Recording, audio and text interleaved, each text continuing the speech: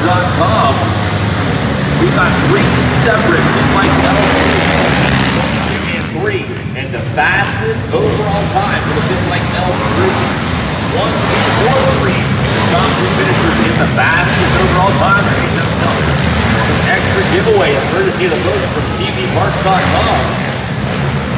We have got the number 596 of Zach Ames, the Wooster, Ohio native, on the Piranha Bikes Wholesale Cycle. Machine running up front.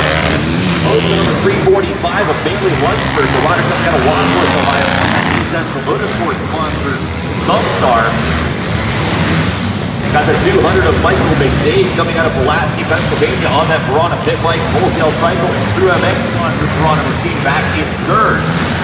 Also have the number one of Dylan Bowman out of Eastman, Michigan on the Kawasaki. Number 21, Drew Russell comes out of Alliance, Ohio on the Mom, Flow Vision, and Line X the Salem sponsor Kawasaki. The 42 at Trey Romaine out on the Thumpstar. Number 63, Talon Thompson comes out of Mercer, Pennsylvania on the Papa third.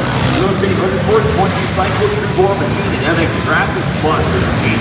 The 117 of Aiden Markers out of Laredo, Ohio. Got the 5 of Brian Clay coming out of Canton, Ohio on the Kawasaki.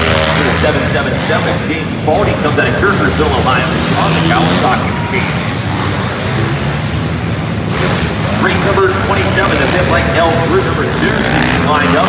Race number 28, the Pit Bike L group number 3 needs to make their way down through the line.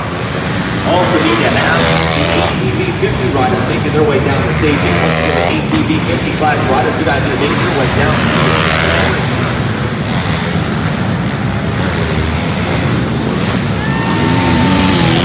Back up towards the front of the pack, it is the 596 of Zach Ames leading the 345 of Bailey Lunsford. With the number 200 of Michael McDade hanging on to third.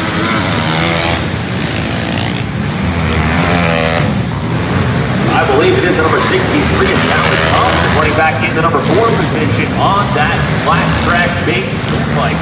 Pretty cool looking machine for the number 63 of Talon Thompson.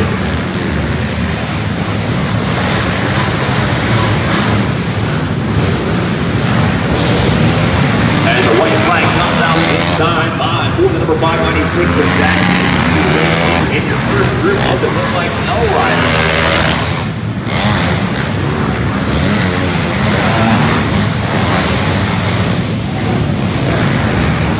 Zach Eaton's making that left-hand turn and racing down the finish line straightaway.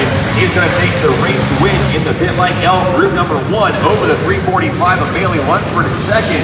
Coming across the stripe in third will be the number 200 of Michael McDade. He may or may not get those tvparts.com coupons as we're going to give those away to the fastest Pit Bike L group. The top three finishers in the fastest Pit Bike L group are going to get themselves some coupons courtesy of the folks from tvparts.com.